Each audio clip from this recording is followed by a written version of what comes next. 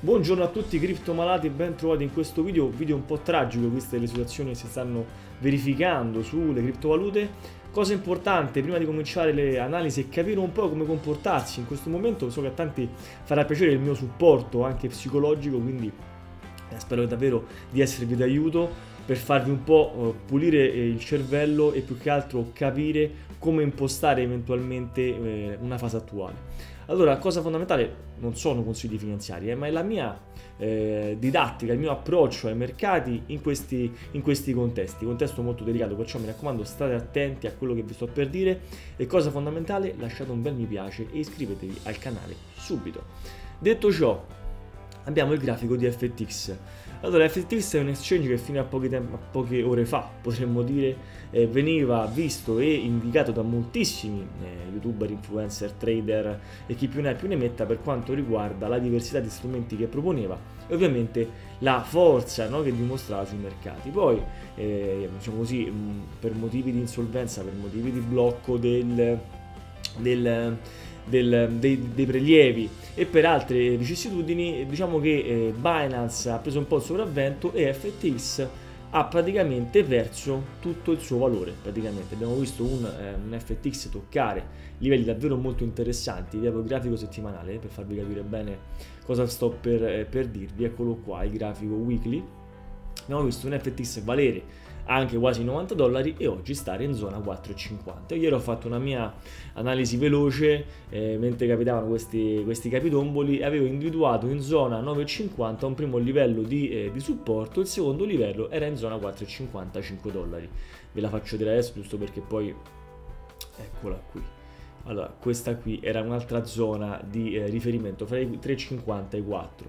Allora, che cosa sta accadendo e che cosa possiamo fare. Innanzitutto quando il mercato è ribassista, eh, ragazzi, così fortemente ribassista, è inutile essere speranzosi, no? È un mercato che è ribassista eh, settimanalmente, quindi non è più un discorso di movimento saltuario, qualcosa di anomalo. Sapevamo già che fosse ribassista, diciamo che ogni ogni posizione aperta su FTX eh, rappresentava un grosso rischio perché eh, il mercato ribassista sul lungo periodo poteva premiarci da qui ai prossimi mesi o magari affossarci. In questo caso c'è stato un affossamento eh, generale. Il mercato ne sta risentendo totalmente in modo negativo, molti stanno scappando che sia la volta buona per comprare. Tanti dicono, addirittura arrivano messaggi, no? Ma che dici se compro adesso conviene?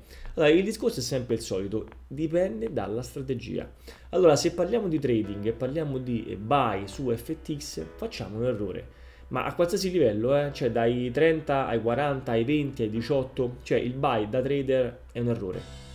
Adesso è proprio palesemente un errore poteva esserlo sui livelli di, di, di supporto in zona 23, eh, poteva essere interessante, però abbiamo visto che è durato comunque non tantissimo e questa news ha sbaragliato la, la dinamica di resiste di supporto da parte di quel livello lì e quindi poi abbiamo visto toccare due supporti direttamente in, in pochissime ore. Questo parliamo di eh, dinamiche che si sono verificate in un giorno quindi cioè, qualcosa di eh, allucinante no? perdere quasi tutto il valore in un giorno. Allora alla domanda che cosa posso fare, mi conviene vendere tutto, mi conviene tenere, dipende dal capitale che tu hai investito, perché ovviamente se io avessi investito 50.000 euro, a perderne 50.000 eh, davvero sarebbe no, abbastanza eh, così eh, particolare come, come mossa, come strategia. Se la mia visione è eh, di gestione sul lungo periodo, sicuramente fare eh, io personalmente faccio così, la, la, parte che dedico al, lato investitore lungo periodo eh, ho sempre un po' di liquidità e ogni volta che il mercato scende acquisto una piccola percentuale di quella cripto o quell'altra. Ovviamente parliamo di, eh, di scelte che vanno fatte per logiche comunque personali e andiamo a capire eh, come farle cercando di gestire. Io ho fatto diversi video che vi, diciamo, vi consiglio di vedere eh, dove faccio vedere il ribilanciamento periodico. Quindi in base alle cripto che mi scelgo vado a gestire, vi metto qua i link sia in scheda che in descrizione. Eh, in base al periodo, quindi non so, scelgo il mese per ribilanciare il portafoglio, in base alla mia liquidità piuttosto che alle cripto e alle dinamiche che si verificano eh, e vado poi quindi a ribilanciare il portafoglio. Quindi che cosa faccio? Eh, scelgo di entrare per esempio in questo caso qua, no, magari su FTX adesso eviterei, eh, comunque scelgo di entrare con una piccola percentuale del mio capitale, qualora fosse FTX una delle cripto che io abbia in portafoglio. Andiamo a vederci un attimo, e lo facciamo velocemente, Bitcoin, che sta iniziando a mettere a dura prova il supporto storico. Eccolo qua. Allora, questo supporto qua, aspettate che pulisco un attimo il grafico, eh. Vediamo un attimo questi volumi che sono tanti in queste ore. Eccoci. Grafico settimanale. C'è il supporto storico dei 18,5. È stato violato settimanalmente. Oggi ragazzi è mercoledì, quindi aspettiamo chiusura settimanale. Una cosa è certa, e abbiamo già visto no? Bitcoin andare sotto i 18,5, toccare i 17,7.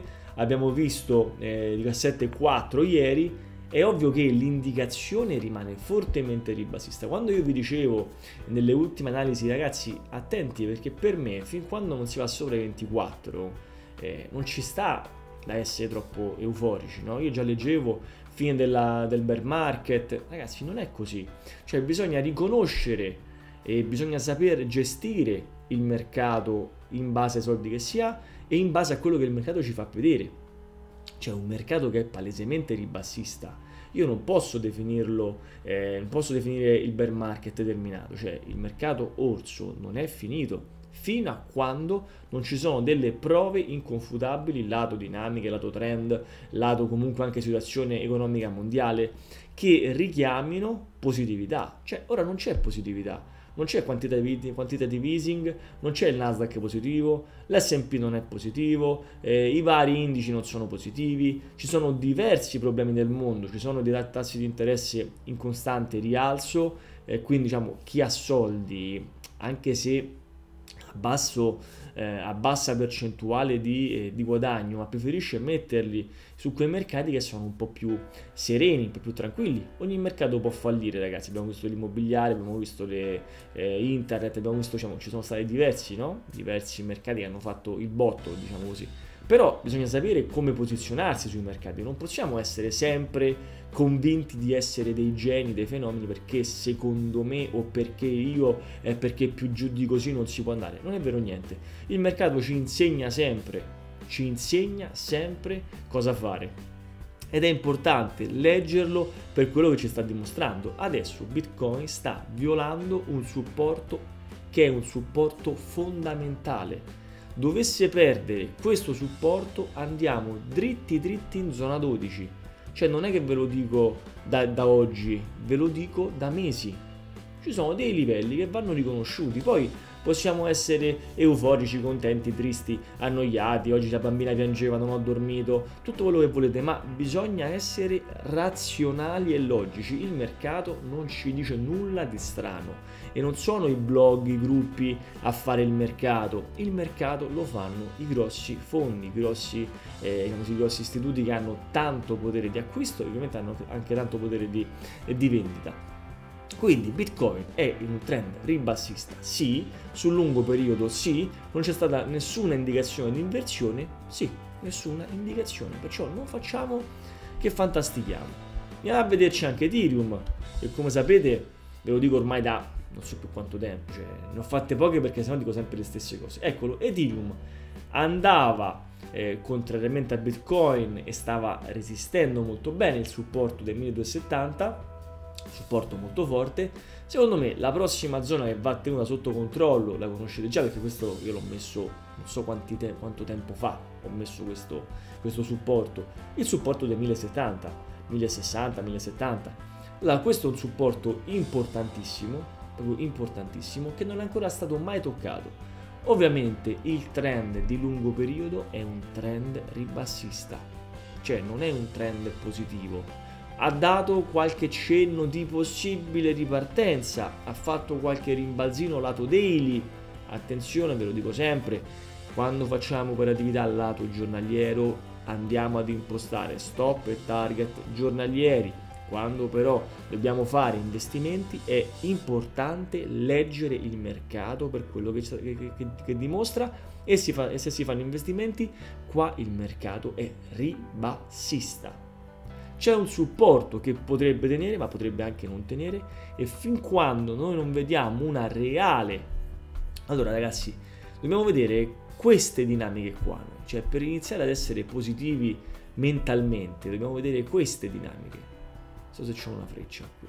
Cioè queste sono le dinamiche che ci interessano. Aspettate che non si vede niente di niente. Queste sono le dinamiche che ci interessano a noi. Dei massimi minimi, massimi minimi, massimi minimi, massimi minimi. Questo è un mercato rialzista. Questo è un mercato massimi minimi, massimi minimi, ribassista. Cioè il trend è ribassista, c'è poco da fare. Rompe dei livelli, fa un rimbalzino e diventa un altro minimo. Rompe, andrà ancora più giù? Ragazzi, se vanno giù si torna ai prezzi, penso, 2018-2019. Cioè, lo dico senza, senza, problemi, cioè torniamo a, vedere, a rivedere magari un Ethereum in zona 400, 350. Poi ognuno può fare le sue scelte sul lungo periodo, la quota di capitale che tu vai a destinare alle cripto va gestita con razionalità. Ogni tot di discesa decidi di entrare e basta però hai sempre liquidità disponibile, sempre. Detto questo, va con una buona giornata, mi raccomando lasciate un bel mi piace, iscrivetevi al canale e per imparare ad operare, per essere logici, lucidi e eh, razionali, io vi aspetto sul, sul, sul, percorso scuola di trading pratico che partirà settimana prossima. A, a, tutti gli iscritti alla newsletter, al gruppo Telegram e ai vari gruppi Facebook ovviamente arriverà la, l'invito però soltanto per iscritti alla newsletter eh, ci sarà la possibilità di sfruttare un coupon sconto che ovviamente è esclusivo per tutti gli iscritti alla mailing list. Detto questo, grazie davvero, buona giornata e mi raccomando usate il cervello.